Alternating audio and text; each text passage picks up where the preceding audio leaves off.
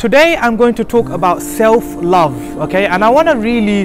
help as many people really really understand that with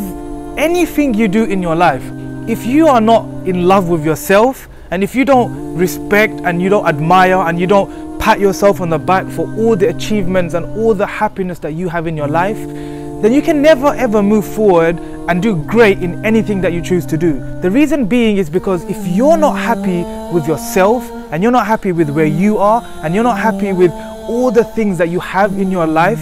how can you go out there and put your 100% in anything that you do? The first thing that you have to do is love yourself and be grateful for everything that you have in your life. After you've done that and you've had that respect for yourself, then you can go and help other people that are looking for this self love and you can help them have the same in their life.